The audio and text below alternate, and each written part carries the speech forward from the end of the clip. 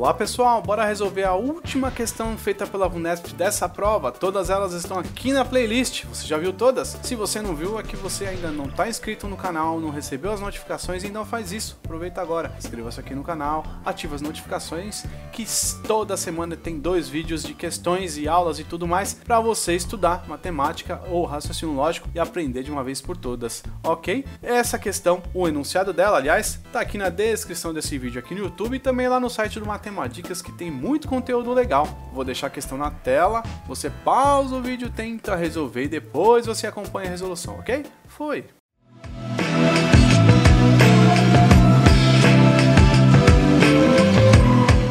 Aí, conseguiu resolver essa questão de razão e proporção aí? A última questão dessa prova, bem tranquilinha. Vamos ver. Para um concurso foram disponibilizadas 12 vagas. O número de candidatos inscritos nessas vagas é de 480. Então, vagas 12. Candidatos 480.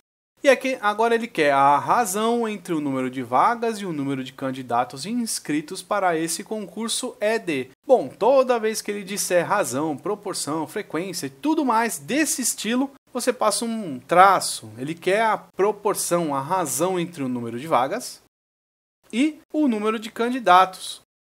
É exatamente isso, só isso. Agora é só substituir esses números, 12 por 480. Só que isso já é a resposta do problema. Só que não tem isso na resposta nas alternativas. A gente tem que simplificar isso aqui até chegar no valor que não dê para simplificar mais. Se você tem dúvida em simplificação, dá uma olhada no curso de matemática básica. Eu ensino tudo para você entender de uma vez por todas e não se perder nas simplificações. Corta em cima, corta embaixo e tudo mais. É clicando nessa letra aí ou o primeiro link aqui na descrição desse vídeo, ok? Então vamos simplificar aqui em cima por 2, dividir por 2 e aqui também por 2. Dá para simplificar por 4, por 3, por 6, por vários números. Vamos começar pelo 2. Vai dar 12 dividido por 2 vai dar 6. 480 dividido por 2 vai dar 240. Ainda dá para dividir por 2? Dá. Vem aqui, dividido por 2, divide por 2, que vai dar 3. E aqui 120. Ainda dá para dividir por 2? Não, vai dar para dividir por 3 aqui em cima e aqui embaixo. Então divide por 3 aqui e aqui divide por 3. Agora sim, 3 dividido por 3 vai dar 1, 120 dividido por 3 vai dar 40. Agora sim, dá para simplificar mais? Não, porque aqui já chegou no número 1. Se não dá para simplificar mais, essa é a resposta do problema. E a resposta do problema de 1 sobre 40 avos está na alternativa D.